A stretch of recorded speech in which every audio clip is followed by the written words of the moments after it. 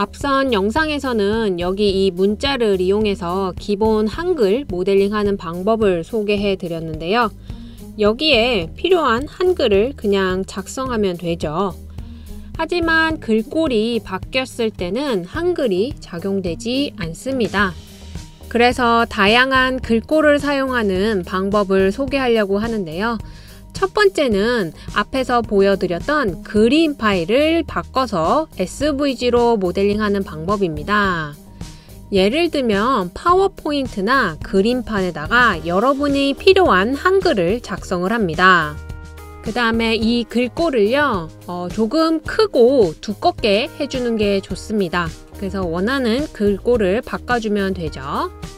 그 다음에 이 글꼴을 그림을요 오른쪽 버튼을 눌러서요 그림으로 저장을 하게 됩니다 이렇게 그림 파일로 저장한 다음에 SVG로 변환해주는 사이트를 이용해서 SVG 파일로 변환해서 팅커캐드에 가져오는 방법입니다.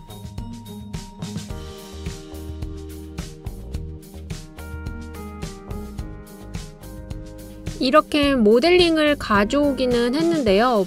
보면은 글꼴이 정확하게 표현되지 않은 걸 볼 수가 있습니다. 그래서 파일을 그림 파일을 저장할 때는요. 글꼴이 굉장히 큰 게 좋습니다. 글꼴을 다시 한번 크게 해서 만들어 볼게요. 역시 그림으로 저장 먼저 하고 그 다음에 SVG 파일로 변환을 해보겠습니다.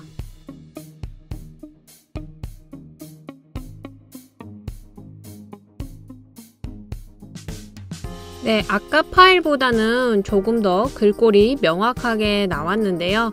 이런 방식으로 그림 파일을 만들어서 한글로 변환해서 SVG로 변환해서 모델링을 하는 방법이 하나가 있고요. 그림 파일을 만들 때는 글자가 크고 명확하게 나올 수 있게 그림 파일을 저장하는 게 중요합니다. 또 다른 방법으로는요, 구글 드로잉을 사용하는 방법입니다. 구글 드로잉을 검색을 하면 구글 브라우저에서 구글 아이디로 로그인 한 다음에 사용할 수 있습니다. 물론 무료이고요.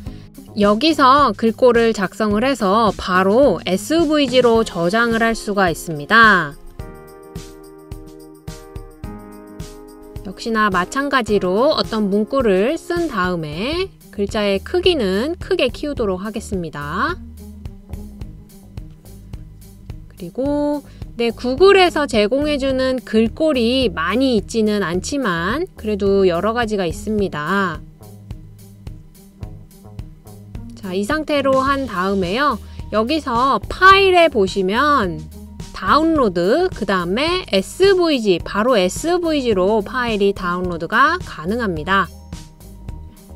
그래서 팅커캐드에서 가져오기를 통해서 구글 드로잉에서 만든 SVG 파일을 바로 가져오기를 하면 됩니다. 역시 치수가 굉장히 크기 때문에 줄여서 가져오도록 하겠습니다. 자, 이렇게 하면 그림 파일 또는 SVG 파일을 가져와서 다양한 글꼴의 모양의 한글을 모델링으로 활용할 수 있습니다. 마찬가지로 덩어리로 사용을 할 건지 아니면 글자를 내 홈으로 구멍 도형으로 이용해서 디자인을 활용할 건지는 여러분이 선택을 하면 되겠죠?